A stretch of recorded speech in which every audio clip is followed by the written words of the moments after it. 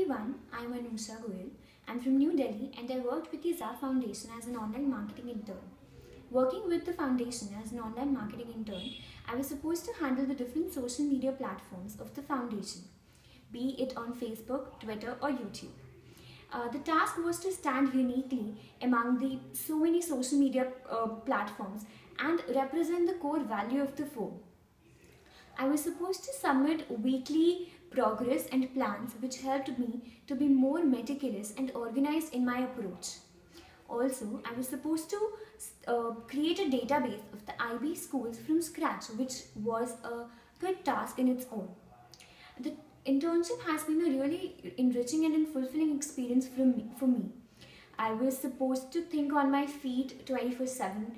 I was supposed to be creative and I was supposed to be implement new ideas every day.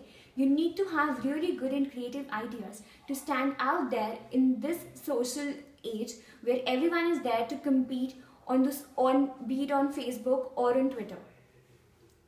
Also, the best thing about this internship has been that everyone working here in the Zav Foundation are really, really approachable.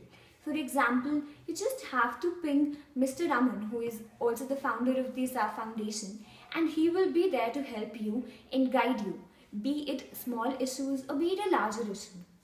Also, uh, thus, I would recommend this internship to everyone out there who are looking to help underprivileged children as well as gain a really fulfilling experience. The internship helps you to grow and learn amazing things.